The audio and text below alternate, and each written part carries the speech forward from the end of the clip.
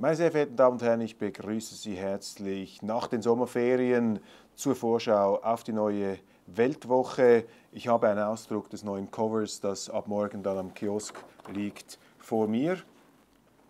Die beiden Persönlichkeiten auf dem Titelbild, Bundespräsidentin Simonetta Sommaruga und etwas äh, nach hinten verschoben Staatssekretär Mario Gattiker, der Chef unseres Migrationsamts. Wir bleiben also an dem brisanten Thema der Stunde dran, nämlich jener Asylentwicklungen, die wir derzeit sorgenvoll beobachten, jene illegale Migrationswelle, die derzeit ganz Europa und auch der Schweiz zu schaffen macht. Dieser Tage hat ja auch Deutschland wieder massiv verschärfte Migrationszahlen vermeldet. Also hier ist geradezu eine kleine Völkerwanderung im Gang oder, wie man etwas pointierter sagen könnte, auch eine Art internationaler, illegaler Pendlerverkehr, weil viele dieser angeblich illegalen Flüchtlinge reisen ja in den Ferien zum Teil in jene Länder wieder zurück, in denen sie angeblich an Leib und Leben bedroht sind. Leider setzt die Schweiz unserer Meinung nach hier die ganz falschen politischen Akzente. Und das ist auch der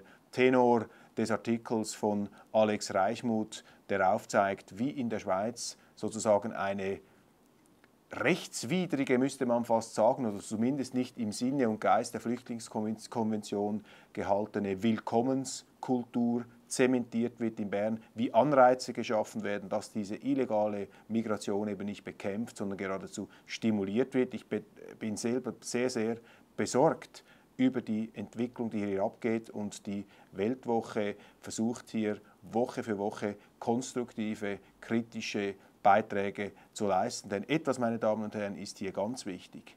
Mir persönlich ist diese Asyltradition, die wir haben, die humanitäre Tradition, die ist für mich sehr, sehr bedeutsam. Aber wenn wir an dieser Tradition festhalten wollen, meine Damen und Herren, dann müssen wir auch entschieden ihre Missbräuche bekämpfen. Und ich mache keinem Migranten, keinem jener illegalen Migranten einen Vorwurf. Diese Leute nehmen die Angebote äh, an, die wir ihnen hinstellen. Und das ist letztlich nichts als menschlich.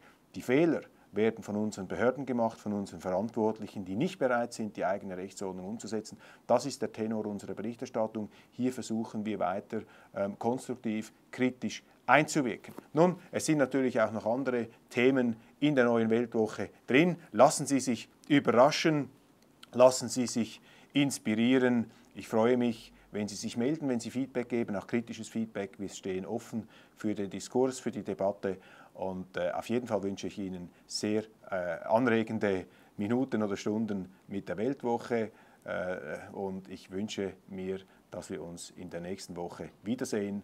Alles Gute, bis dann, eine schöne Zeit. Besten Dank.